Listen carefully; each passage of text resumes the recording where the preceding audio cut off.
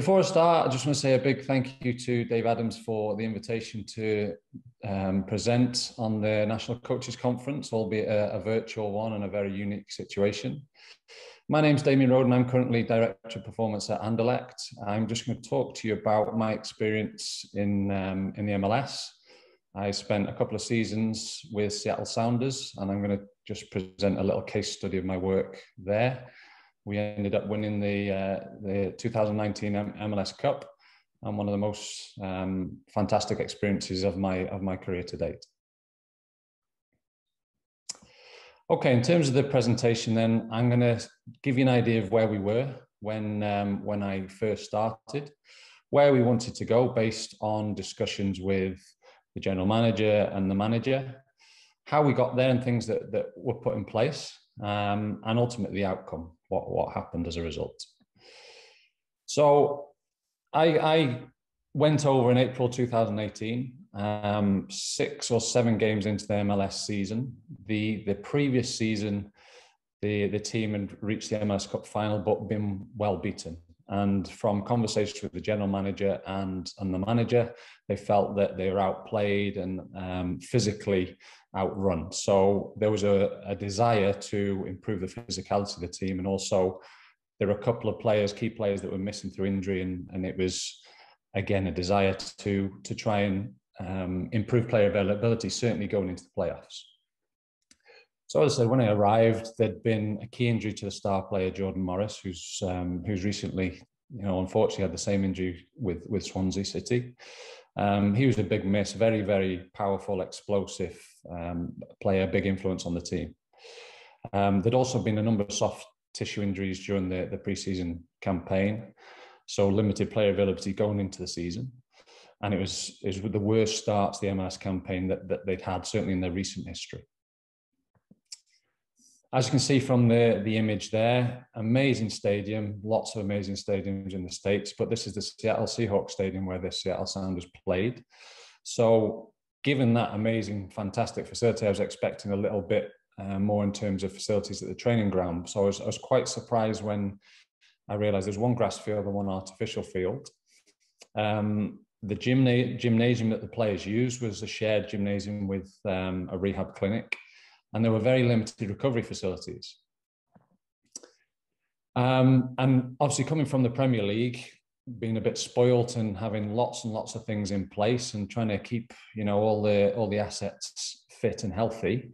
I w- again, I was surprised a little bit on there was no breakfast provision. Um, there wasn't any real formal screening performed at the start of the season, so give you an idea of you know players' strengths and weaknesses to to develop programs and, and improve their physicality. Um, there wasn't any really formal structure in terms of player assessment. It was more speaking to players. Um, no formal activation before training. Obviously, the activation of of players before trainers come into the game quite a lot in the last, you know, four or five years. But it was more players did it off their own back. Um, and there was lacking any real intensity training. So it was important that um, we we examined why and and went about our business to to try and improve that. So where did we want to go? As I said, the the main emphasis from the general manager and the manager was we wanted to increase the intensity and make players more competitive and improve player player availability. I think that's what everybody wants to do, but there was a movement and a desire to put a structure in place to do that strategically and ultimately increase the level of professionalism, bring a lot of things that um, were in place in Europe, in the Premier League, and, and try and filter those into the MLS. So, how do we get there? Um, the first thing that, that for me was important that if we wanted to increase the intensity of play, then we had to put in place all the support mechanisms. So, nutrition for me being a very, very big one making breakfast and lunch compulsory. It didn't go down great at the at the start, but we tried to explain to players, look, if, if we're going to push you every day, you have to have fuel in your body and you have to help your body recover. So we, we try to educate them about that. Um, and then we erected a, um, a tent area equipped with gym equipment. So, I mean, it wasn't fantastic, but it was a space adjacent to um, the area where the, the players change, where the medical facilities were, where the meeting rooms were. So it was just an area where we could start doing the things that we wanted to do without walking to an area or a facility that was shared and you couldn't necessarily use all the space. Um, and then we started implementing what, what I call readiness assessments. I'm going to talk a little bit more detail about the type. Excuse me. Um, when we go through the, the typical week, was ultimately to see where players were after every game highlight any red flags, any interventions that were needed so that when we wanted to really push them, we were confident that we could push them. And then, as I said, we made the, the activation exercises compulsory.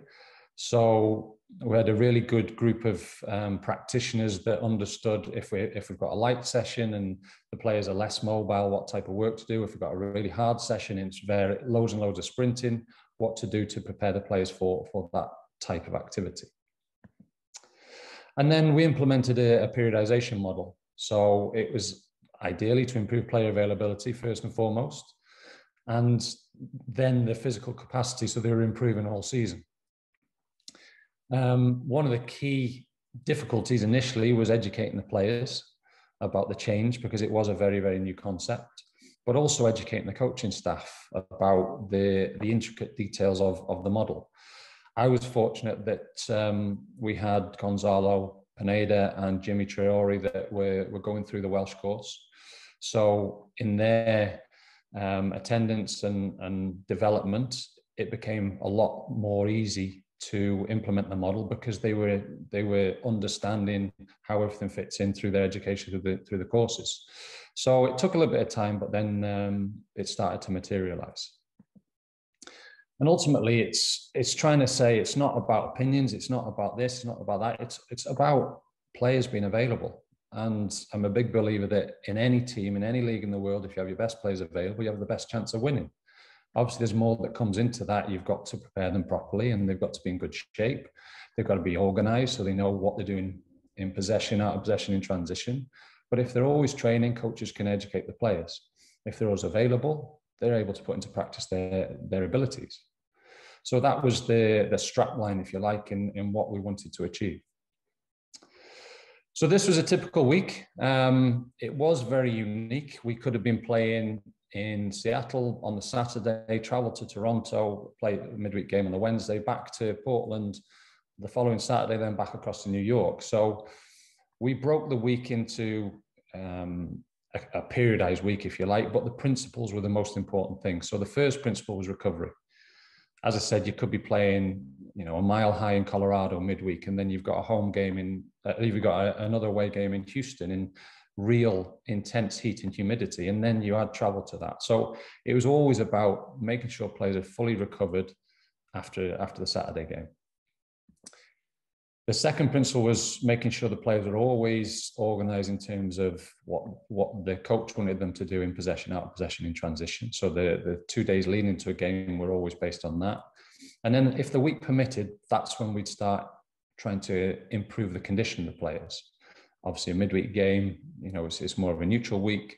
If you played Sunday and then Friday, the two key principles were recovery and organization. So it just depended whether we could fit that in.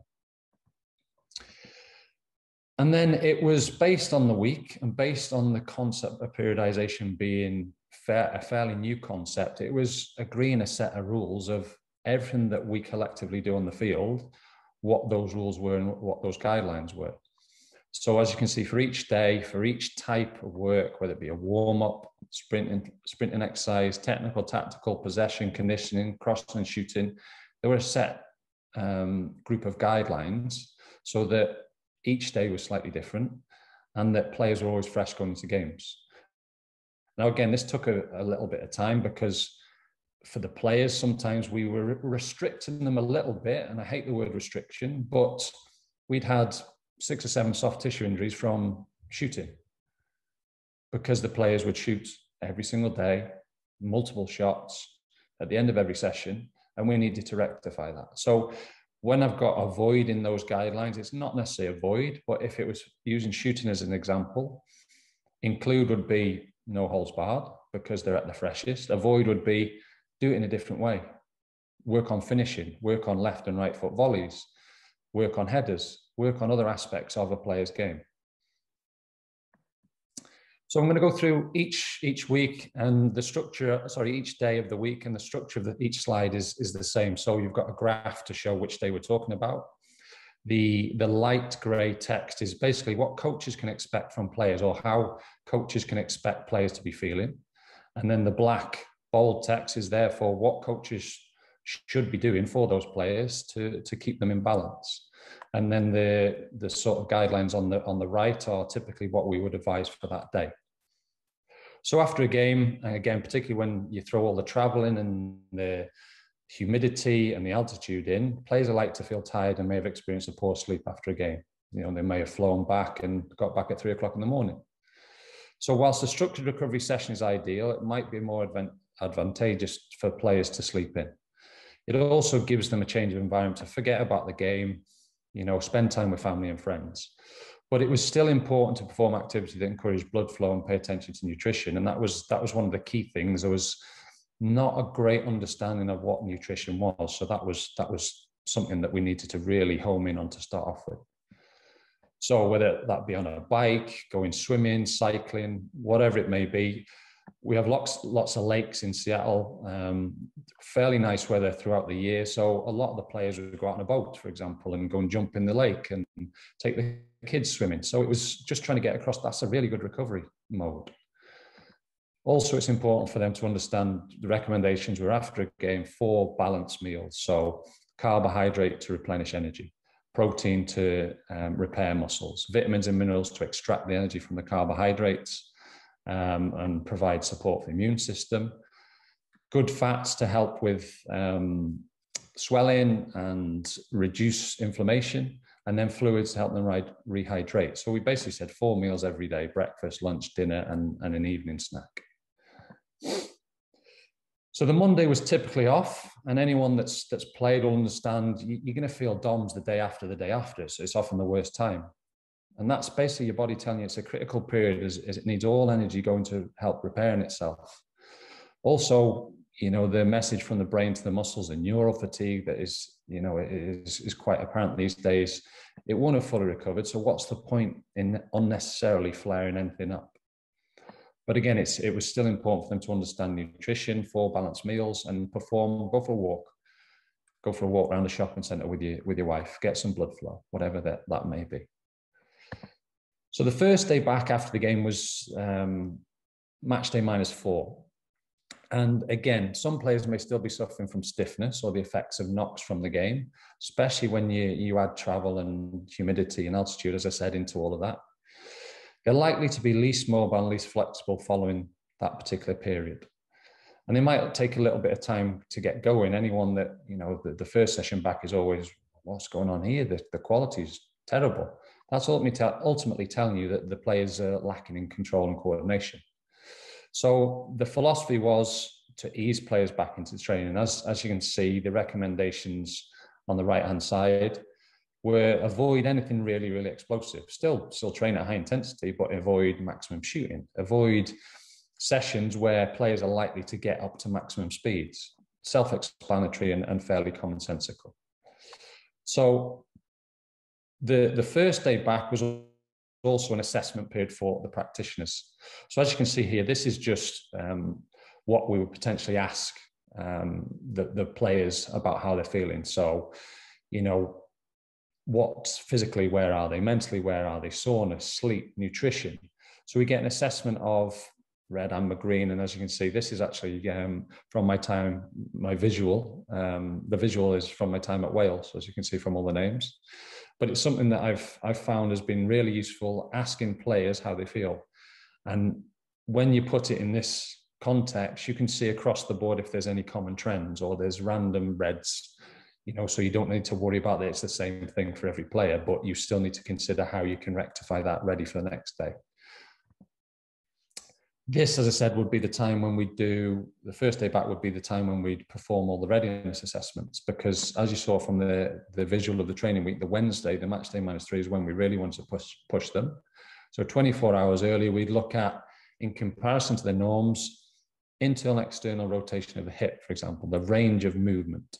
If they've got restricted range of movement and we want to really push them, at some point they may get into a position where their knee buckles or something else happens where we could have avoided that particular thing from happening. So we've got 24 hours to to rectify, you know, a range of movement. The masseur may do a, a glute release, or it might be that they do some exercise in the gym to, to help that. Things like um, glute and hamstring strength. We would look at if we want if we're going to do a lot of sprinting. Obviously, you want the glutes and the hamstrings as strong as possible and no no decrease compared to their norm, so that we know we can we can push them. Um, calf flexibility or ankle mobility, um, hamstring flexibility and back mobility, little things that take a very, very short period of time, but give you a lot of information to hopefully when you want to push them, you're confident that you've done everything to and your due diligence to, to really push them. So that's what we would do on, um, on a match day minus four. Then when we come to the Wednesday, having done um, an easing session the day before, players should be completely fresh, having performed that light training session. Some players may still be reporting discomfort, but because it's a day further away from the game, it's less likely. And therefore, it's an ideal time to um, perform all the explosive actions and everything you really want to push them in. Um, one thing that was difficult to, to get across, particularly to the coaches, because they want to coach, is when it's a condition day, it's a conditioning day. The tactical side is a Thursday, Friday. And even though you're pushing players, you still want them to put into practice the the um, the things in possession, out of possession, in transition, all the things that you would want them to do, but you want them to be maximizing an 11-11 game, or a 6v6 game, or a 3v3 game. So the emphasis is it's important to limit the number of practices prior to that conditioning session because you're going to repeat it every week, and you want it to be similar every week, so you can increase the duration every week.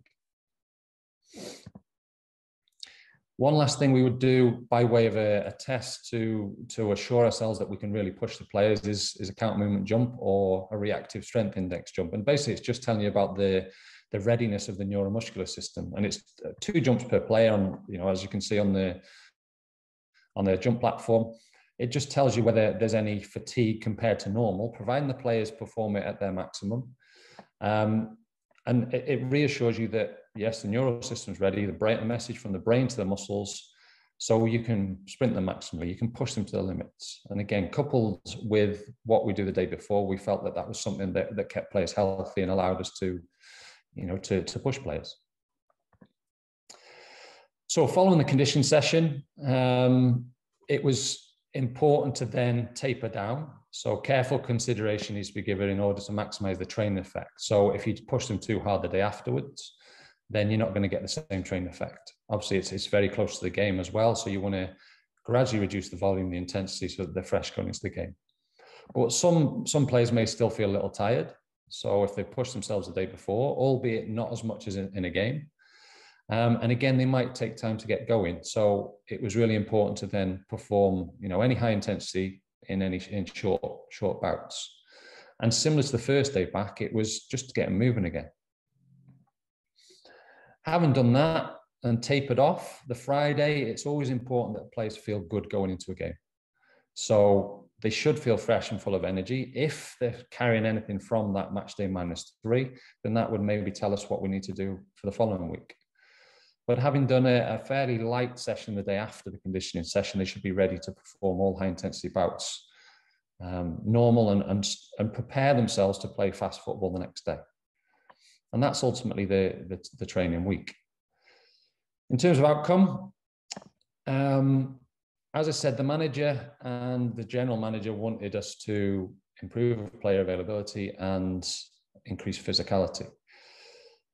The, the second season, so the 2019 season when we won the MLS Cup, we had the highest player availability in, in the club's history. So hopefully the, the approach went, you know, went somewhat to to contribute to that. After the the terrible start to the season, we had the best half season in MLS history, and we went on a winning streak of nine straight wins. And I think we won 14 out of the last 16 games.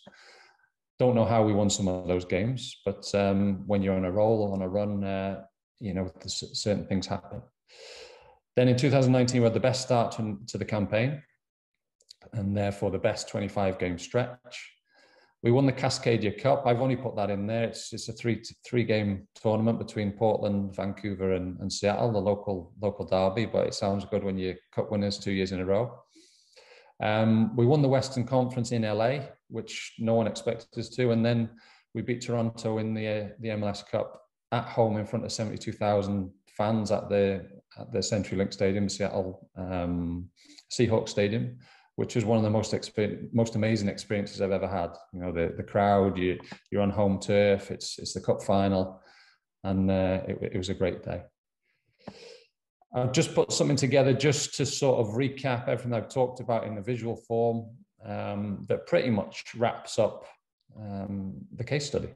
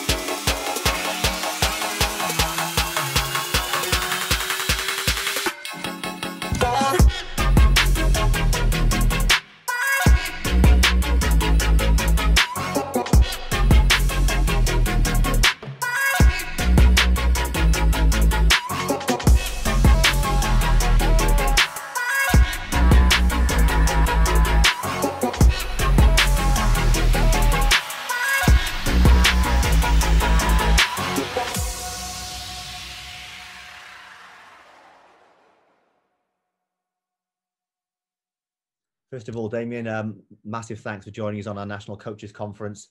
A really insightful presentation, and obviously, congratulations on your fantastic work over the last sort of 20 years in, in the realm of sports science and um, in your roles ahead of performance. The first question, which probably relates a lot to our Welsh coaches, would be around how you integrate these principles into a part time model, maybe training twice a week, like a Tuesday, Thursday. How would you ensure conditioning, but also you know managing recovery, but also managing that tapering process going into the next competitive game in a part-time basis? Um, first of all, has, has, it really been 20 years? at least that, Damo, at least that. Make me feel old. um, good question. I think if if I refer back to the visual of the a typical week, obviously if it's a Tuesday, Thursday, I would sort of advocate the Tuesday Tuesday being the work day and then the Thursday being the Thursday as it is in the in the model, if you like. So your conditioning is on the Tuesday, and then your lighter session, but still, you know, working on an element of intensity, but whilst organising the team, would be on your on your Thursday. Without trying to contradict myself, because you've only got two days to um, to work in a part time model, I would then still I would then integrate some tactical work on both days. So I, I know I said, you know, your conditioning session is all about conditioning, but it's it's a slightly unique unique situation. So I'd integrate tactical work into both days. Brilliant. And you you're obviously very clear in terms of the models you presented. Um, how do you see the role, your role, integrated within the sort of planning process, um, and how the coaches sort of function and work those principles into the sessions that they deliver in terms of the principles and the tactics they deliver from a technical tactical point of view, but also respecting the physical layer? I think it's it's difficult to ask, answer that question because every environment's different and every coaching staff is different. If you know, if the coaching staff, and I, will allude to what I said about the staff, particularly in the in the second season at Seattle, they they'd gone through the Welsh course. They understand they, they were covering tactical periodization, so they understood principles of periodization it, I didn't need to be involved as much. So it was, they understood the principle of recovery. This, the structure of the week was in place. So that allowed recovery. They always did their tactical work Thursday, Friday. Um, and then it, it was a little bit of guidance in terms of more an individual periodization from my perspective in terms of older players, players with big injury history, um, things like that, where when we're doing our conditioning part, it'd be right, this is what they need in comparison to the team. Um, but if you've got, you know, if you've got a relatively inexperienced staff and a group of coaches that don't really grasp sports science, I think it's imperative that that that practitioner guides them in the process. It doesn't always happen because sometimes the coaches don't recognize their strengths and weaknesses. Yeah. Sometimes the practitioner doesn't always um, speak in the right language to get the message across, where it's it's a universal language and everybody understands what what page it, um, the group are on. So uh, it's I think it's just based on on the situation and the the, the scenario at, at each individual club. I know in the quality of your work, obviously you've always managed to get player buy-in across your career, I suppose, in terms of your your way of mm. working and, and this sort of methodology, I suppose. But how do you, I suppose, what's some of the take-home messages to try and get player buy-in to this type of periodization model? Funny you should say that, um, and I'll I'll talk about Craig Bellamy and when I when I worked with him at Man City, he um, he actually kept a day by day diary of everything we we do.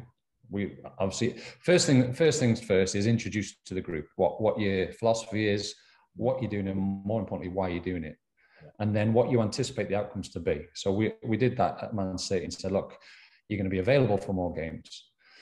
You're going to be able to improve your capacity over the course of the season, and you're going to finish strong and that's the theory behind the model. So you present that. Craig, when we did that at Man City, was, um, and he won't mind me saying this, we've laughed about this many times. Mm-hmm. He, um, he kept a diary just so that he could say when he broke down, that's rubbish, that, that doesn't work. It's absolutely terrible. And then I remember him saying to me after the first couple of games when he'd, he'd done really well, he'd scored a couple of goals, he hadn't broke down, he felt good. He showed me the diary and he said, I'm still, I've still got my doubts, and I'll still have a chat with you in three months' time if I'm still available. And ultimately, he was available all season, and that's just a little story that you sometimes, you sometimes you've got to live it. Mm. So you present and you you tell the players, and again, it's I've had everywhere I've been, there's been doubts, and oh, I, I want to feel tired. I want to feel as if I've worked and then they've hit personal bests in the first three or four games and smashed the high intensity and sprint distance and felt you know not felt tired towards the end of the game and so on. So i think you've got to present it. You've got to allow them to live it. And then if you've um, sort of explained what you anticipate is going to happen and it happens you've got buy-in it doesn't always work like that but that's that's certainly how i've approached it. Brilliant, thanks, Damo. You made a great point um, in your presentation about player availability, which is probably critical to all coaches' success. And you mentioned that yourself that if players are available, the most most time you've got a better chance of winning games. So fundamentally, it's a really important point. And your book, you've just recently published, sort of links into that fit for every game. Um, and obviously, I've read it myself. Sent me a copy. Thanks for that. I really appreciate it. And it's something obviously we advocate on our coaching courses, um, and something we'll definitely be putting into our coaching courses recommended reading. I think the book is very, very interesting in, in a point of view that it's obviously very much a practitioner's book very much a coach friendly book. Um, and I think the way in which you put it across in those four sections planning, prevention, conditioning, and regeneration provides a great framework for coaches to, to read and understand. Uh, the question really is around what sort of motivated you or inspired you to write this book, you know, given that it probably took you a lot of time and uh, a lot of effort. Um, but obviously, that's my, my main question, really. I think it's it's a, it's making a lot of mistakes. Um, and trying from those mistakes. So as you pointed out very, very nicely, I've been in the game 20 years, so I'm quite old by comparison to a lot of practitioners. Um, it was born out of when I was at Man City. Um, it was at the time when the Sheikh took over, and the every head of department was was charged with the task to go and find out world leading experts, best practice, so on and so forth in your area. Mm. And I, I just tried to, I'm, I'm quite OCD, so I tried to strategically come up with right what what is my world? What is my responsibility and my job description ultimately? And that's when i broke it up into planning prevention conditioning regeneration and then there's three strands to each of those. Mm. so i had to start putting that together formally anyway and just to determine what our department does and therefore how we evolve within that framework. So it was it started then and as i said you evolve you there's new things that come into play you make lots of mistakes you try and learn from those mistakes so it's an evolving process So I just, wherever I went, I took that structure and strategy, if you like, with me. And it's just evolved ever since. And I, I, I noticed very quickly as I was going through the practical, the applied side, it's nothing like the theory. It's nothing like what you learn in your bachelor's degree or your master's degree or doctorate. It's, a totally unique situation. So I started thinking, well, I wish I'd known what I know now when I first started. And sometimes you have a lot of battles with coaches because you're trying to get across. My, my only um, aim is that they have all the players at their disposal. Mm. And I've worked with amazing coaches that grasp it, and I've worked with coaches that don't grasp it at all. And you have multiple injuries, and it's a battle that you're going. Why do you want players not to be available for you? So it was born out a lot of things really, and language is a key thing. I think coach education courses don't necessarily do a, a fantastic job of helping coaches understand mm. in terms of the language of sports science. So it was really just trying to make everything as simple as possible and as practical as possible so that a new coach or an experienced coach can embrace periodization. And I think I put three different approaches, not just, just one approach in there. And then practitioners can also understand the coach's world and the coach's thinking. So everything that a strength coach does needs to fil- filter into the pitch. Everything that a nutritionist or someone giving nutrition advice needs to filter into the type and intensity of work and the games and so on. Everything that the medical, the physios do needs to filter into what, what's going on on the pitch. So it's just trying to bring everything together and, and help people ultimately. Thanks, Damo. It's obviously a fantastic book, and um, I recommend anyone to, to pick it up and read it. Um, so congratulations on the uh, on your work, obviously, but and obviously a big congratulations on your on your work um, in putting this book together. So um, other than that, Damo, it's been fantastic to, to host you here at the National Coaches Conference, and hopefully look forward to seeing you in uh, in better times in person. And best luck with your with your work. Thanks, Damo. Take care. Thank you. It's a pleasure.